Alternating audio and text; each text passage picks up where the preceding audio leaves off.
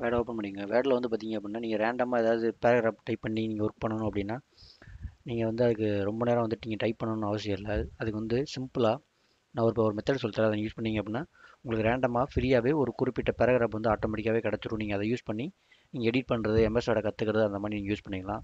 அதுக்கு வந்து பார்த்தீங்கன்னா ஈக்குவல்டு e போட்டுக்கோங்க. E ஈக்குவல்டு போட்டு rand R A N D ரேண்டுன்னு போட்டுட்டு ஓப்பன் ப்ராக்கெட் க்ளோஸ் ப்ராக்கெட் போட்டுருங்க. க்ளோஸ் ப்ராக்கெட் போட்டுட்டு ஜஸ்ட் என்ட்ரு மட்டும் தட்டினீங்க அப்படின்னா ஒரு மூணு பேராகிராஃப் பார்த்தீங்கன்னா ஆட்டோமேட்டிக்காக உங்களுக்கு ஃப்ரீயாகவே வந்து ஆட்டோமேட்டிக்காக வேர்டே வந்து கொடுத்துரும். இதை வந்து நீங்கள் வந்து உங்களுக்கு தேவையான பண்ணி எடிட் பண்ணி எக்ஸல் வந்து நீங்கள் கற்றுக்கிறதா இருந்தால் நீங்கள் கற்றுக்கலாம் இதை யூஸ் பண்ணி.